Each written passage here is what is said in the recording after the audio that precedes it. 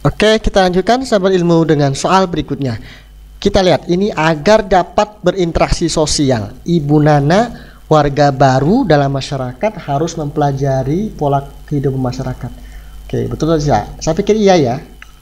Oke, kan gimana bisa berinteraksi kalau nggak bisa memahami dulu gitu ya. E, nanti bak nanti apa yang kita anggap benar malah salah. Jadi saya pikir nanti kebayang nih, kayaknya benar nih.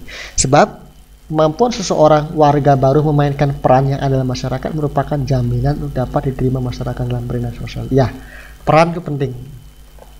Kalau perannya belum apa-apa sudah merasa peran sebagai orang yang paling tahu, paling hebat, paling terhormat, wah susah itu, nggak akan bisa diterima masyarakat.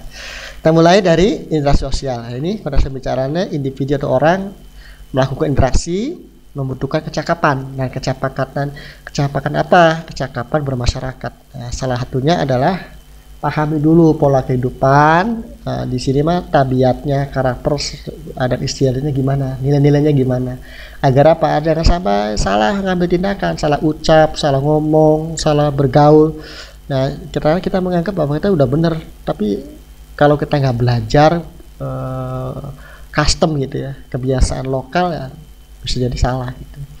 Nah jadi dengan demikian kita ngambil peran. Kira-kira kalau begini mah kita harus berperan seperti ini. Nah itulah gunanya uh, proses uh, interaksi sosial. Jawabannya yang benar pernyataan benar fix ya. Ini juga benar. Ini jawaban A karena berhu berhubungan. Karena dengan paham pola kehidupan baru melihat peran apa yang harusnya diemban baru kemudian bisa diterima.